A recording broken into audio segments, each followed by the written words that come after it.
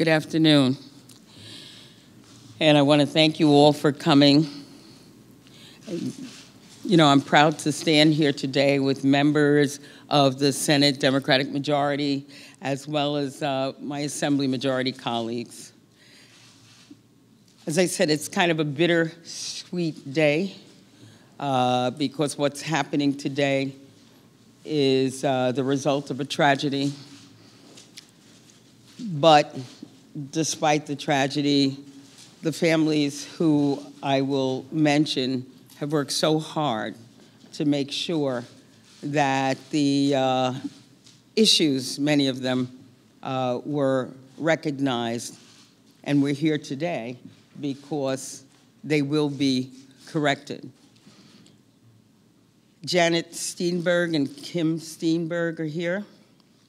Kevin Cushing, Sue Hensley Cushing, Hannah Cushing are here, as is Linda King, Jill Richardson Perez, Mindy Grabina, Lynn Sempre Vertucci, Sheila McGarvey, Donna Rivenberg, and Jameson Ott Carpenter.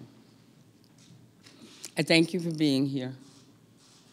You have turned, you said, an unimaginable tragedy into activism, into dedication, and it will save the lives of others.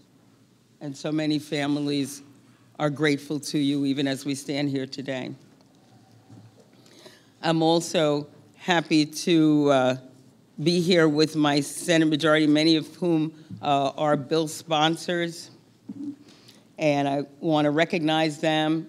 Uh, our transportation here, Senator Kennedy is a bill sponsor, Senator Kaplan, and you'll be hearing from Senator Kennedy.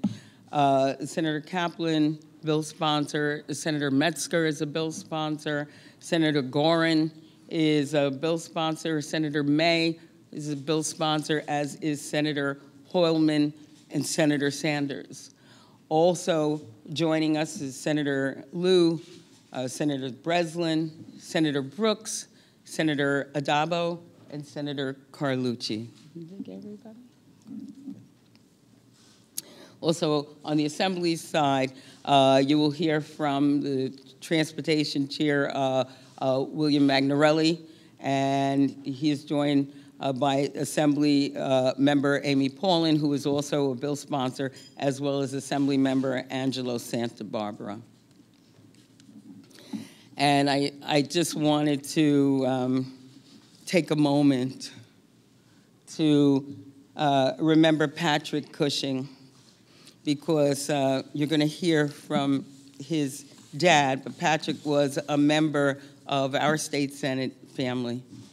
And from everything I know and from all his colleagues, he was, you know, happy, he was helpful, he was diligent.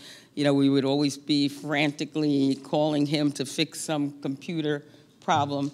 And, you know, for me, that's critical because I'm, you know, I'm not a, really a computer person, but to have somebody like him who's always willing and able uh, was something very, very important. And, um, you know, again, I'm, I'm sorry to be here under these circumstances, but uh, happy that uh, he will be remembered in this way. You know, as we know, limousines and celebrations, they, they go hand in hand. And what we want to do uh, is we want to make sure that it's kept that way. And so the safety measures that we're going to be passing today is about that. We are going to be improving safety. We're going to hold limousine uh, companies and drivers accountable. And ultimately, we're going to save lives. So, together with our assembly colleagues in you know, we, we, will continue to take a look at what's being done and and continue to do as much as we can so that we do not have any more press conferences like this and so that no more families suffer these kinds of tragic losses. Uh, so, anyway, to begin this, this press conference, I'd like to uh, introduce Kevin Cushing, who uh, was the dad of our, our Patrick, who lost his life in the Schoharie crash. Kevin. Thank you so much for being here. Thank you. Good afternoon. This has been a difficult journey for all our collective families. That said, as the saying goes, it's not where you start, it's where you finish. As we near the finish line in passing New York State limousine safety legislation, the families would like to thank the Senate, the Assembly, their staffs, as well as the Governor's Office for their dedication, their hard work to develop meaningful and enforceable laws that will ultimately make the limousine industry safer and, more importantly, save lives. For the past 16 months, family members have worked hand in glove with both the Senate and Assembly to craft laws that represent a meaningful legacy to those loved ones that were lost us on October 6, 2018. We can't change the past, but we can make a difference in the future. Our advocacy work will continue as we move forward and work with our federal legislators to pass similar life saving legislation in Washington. And lastly, I'd like to thank all of you, the media, the local media, who treated families with kindness and respect in a very, very difficult time for us. It's much appreciated by all the families, and you kept a spotlight on the need for additional legislation. We're forever grateful for that. So thank you. Thank you so much. Thank you. Thank you so much, Mr. Cushing. And now we will hear from Janet Steenburg. Janet lost her sons Axel and Richard and daughter-in-law Amy in the Schoharie crash. Um, I just wanted to say thank you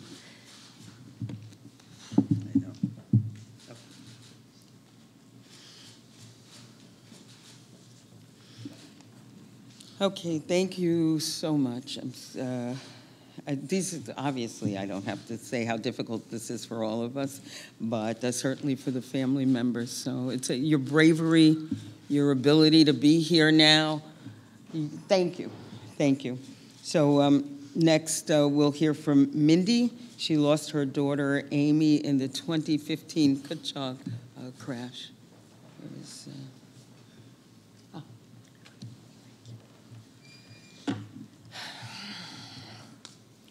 I'm here today to represent the Long Island families who unfortunately could not be here today due to work obligations. My daughter, Amy Grabina, was one of four young women who were killed in the July 18, 2015 Cutchogue limousine tragedy. This past Sunday, January 12th, would have been her 28th birthday. Instead of celebrating with our precious child, we, her family, stood at Amy's gravesite. What was different for me this year, as we stood there at her grave, is that I took solace in knowing that Amy's, Brittney Schulman's, Lauren Baruch's, and Stephanie Belli's memories and spirit will live on through this important legislation package that will be voted on shortly. The four young women, each of who sustained injuries in both physical and emotional ways, were Elisa Arundel, Joelle DiMonte, Melissa Crai, and Olga Lipets. They have also been a driving force behind these, this fight for legislation. Our New York State elected officials and their staff work closely with us and the Schoharie families, giving us input, allowing us to give input into their drafting of this important legislation. For that, we will be grateful. I join the other seven Long Island families and the Schoharie uh, families in remaining steadfast in the improvement and institution of limousine safety regulations. There are 10 important life-saving bills to be voted on today. But laws alone cannot protect us. We, their constituents, have a responsibility to utilize the seatbelts that are being mandated. A written law alone cannot protect us, nor our loved ones. We must be active participants in our own protection. Seatbelts do save lives. We must change the culture for those riding in limousines to utilize the seatbelts that our New York State legislators will mandate in this bill package. We are pleased that a task force will oversee safety measures mentioned in the package of bills. I'm sure they will remain committed to further investigate intrusion bar safety and vehicle remanufacturing. Out of such tragedy of young lives ended so abruptly and needlessly, our elected officials in the legislature and the governor's office have drafted the most comprehensive limousine laws in our country. It is our hope that the rest of the country will follow New York State's lead. Thank you to Senator Kennedy, your staff, and the New York State Senate. We also extend our thanks to Assemblyman Magnarelli, his staff, and the New York State Assembly. And of course, thank you to Governor Andrew Cuomo and his staff. We look forward to these bills passing and being signed by the governor. Thank you to all who have heard us and have taken action. Thank you so much, Mindy, and thank you for, for um, you know, I mean, when you talk about 2015, that's, that's, that's uh, four years of, of waiting, so I'm glad we can honor Amy at this time. So now I'd like to introduce the bill sponsor and uh, a real leader on all of these issues. It's our chair of the Senate Transportation Committee, Senator Tim Kennedy. Thank you. Good afternoon, everyone. Uh, to Mindy, to Janet, to Kevin, thank you for your words. Uh, I want to thank uh, our great majority leader, Senator Andrea Stewart Cousins, for her leadership, uh, for her work, and for making this a priority in this legislative session. Also, a thanks to Assembly Speaker Carl Heastie and his team as well for doing the same and to Governor Cuomo for prioritizing this as well. Uh, my partner in government in the Assembly, Assembly Chair of the Transportation Committee, uh, Bill Magnarelli, thank you to all of the bill sponsors in both the Senate and the Assembly. Uh, we're very grateful for all of your efforts and your advocacy. Most importantly, to the incredible family members that stand here with us today and those that could not be here with us today. Uh, it is the family members that have driven this agenda to completion, that have taken the most difficult moment in their lives and have transferred that very difficult, heartbreaking moment and the months and years that have followed and turned it into advocacy that have led to this day. Today is a good day. And while we stand here with heavy hearts, and with great emotion in this room. Uh, we remember those that have perished because of the lax laws here in the state of New York. And it's a good day because today we're going to change those laws. Today we're going to change those laws. We're going to make sure that New York State is a leader as it pertains to limousine safety in this nation. And we set a precedent for the rest of the nation to take hold and follow suit at the federal level and our work is just beginning in that regard. This work was very personal, not just for me, but for all of us that stand here today. Today, the Senate and the Assembly are going to pass 10 monumental reforms that are designed to ensure the safety of all New Yorkers when they choose to ride in a limousine or for hire vehicle. From requiring stretch limos to be retrofitted with seatbelts to mandating commercial driver's licenses and drug and alcohol testing for drivers of vehicles of nine or more passengers, to increasing criminal penalties for drivers who break the law while on the road. We're taking significant steps to ensure safety measures are firmly in place when anyone steps into one of these vehicles. We're also making sure that any vehicle that shouldn't be on the road in the first place can be seized or impounded immediately. And when New Yorkers do experience an issue with a limo or for hire vehicle, they should be able to easily report that concern, which is why we're creating not just a hotline, but also a website where they can do so. This particular reform was one of many born directly out of the hearing we held on limousine safety and will help the DMV and DOT identify problems that need to be looked into. The list of changes we're making is vast, but we also know that there's always more work to do, which is why we're creating a task force that will further examine current limo regulations and safety training programs and evaluate the need for rear view cameras, airbags, and speed restriction devices, as well as a number of miles or years a stretch limo can be on the road, just to name a few. My colleagues and I were committed to working hand in hand with these families to create these bills. And when I was appointed chair of the Senate Transportation Committee last year, this legislation was my top priority, that of the Transportation Committee, that of the Senate, the Assembly, and the governor. And as I mentioned, our work is never done. But we firmly believe that with today's reforms, we're taking a significant step forward, and we're eager to see these passed today in both the Senate and the Assembly. And with the governor's continued support and commitment to enacting stronger safety regulations here in the state of New York, I'm confident he'll join in this collaborative effort and sign, sign these into law as quickly as possible. So, once again, to the families that we stand with here today, thank you so much for all that you have done to make this day a reality. We stand with you, we stand for you, and we look forward to continuing this fight in this state and across this nation. Again, thank you so much, Senator Kennedy, for your relentless leadership on this issue. And uh, another uh, extraordinary leader, uh, the Transportation Chair from the Assembly, William Magnarelli. Thank you, Senator. And I want to reiterate many of the things that have already been said in terms of thanking people.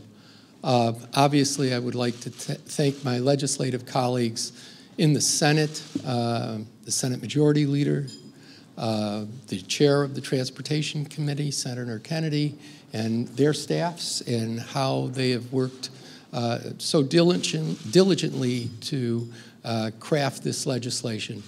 Also, uh, in the Assembly, uh, Assemblywoman uh, Paulin, Assemblyman Santabarbara have been constantly in touch uh, with me and the staff and families uh, to make sure that we stayed the course and made sure that we got to the end of this very difficult uh, uh, road, so to speak. You know, it, it is complicated sometimes not only procedural wise, but the varying laws that have to be taken into consideration when crafting new legislation like this, not only those in the state, but also with the federal government. Uh, I want to commend the families for their advocacy. I want to thank them for what they've done. Uh, as I said a little bit earlier to them uh, in the conference room, Thank you for keeping our feet to the fire and making sure that we kept this as a priority, which it was. But I thank you for your patience. I know how frustrating this process can be, but we have gotten to the end, at least to this road. I, I know there's other roads to go down, but this one, uh, we're, and we're going to end it today, and we're going to pass legislation that's going to be very meaningful.